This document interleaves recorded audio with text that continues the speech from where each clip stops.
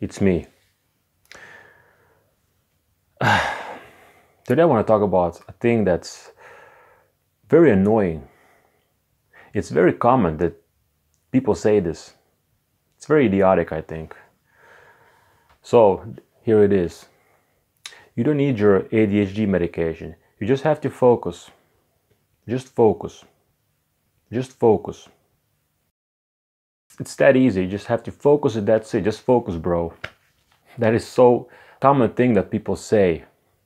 Take a paper and write on a paper. That's it. But my problem is that I will lose the paper the next day.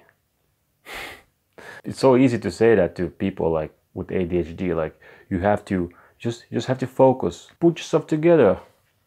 Yeah, I, I wish th- those people that would experience my brains. That's a very annoying thing. And if you have ever said that to somebody, then you should not say it because it's very annoying.